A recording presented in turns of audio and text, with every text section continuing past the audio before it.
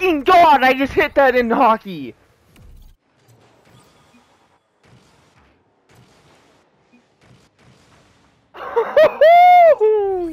Let's go!